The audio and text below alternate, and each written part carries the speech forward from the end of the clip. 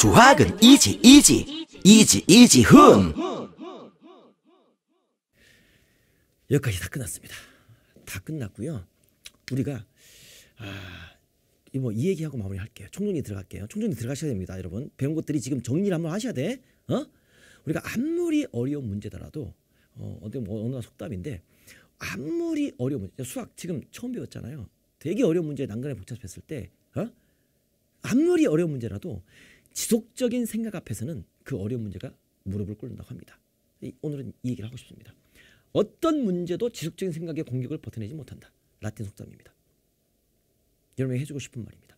어떤 어려운 문제도 어떤 힘든 상황도 지속적인 생각, 끊임없는 생각, 그걸 어떻게 하지? 어떻게 하지? 끊임없는 호기심 앞에서는 무너진다고 합니다. 이 라틴 속담입니다. 힘내시기 바라고요. 어. 지금 한번 한번 한 거 좀 헷갈렸죠? 충전히 해볼게요.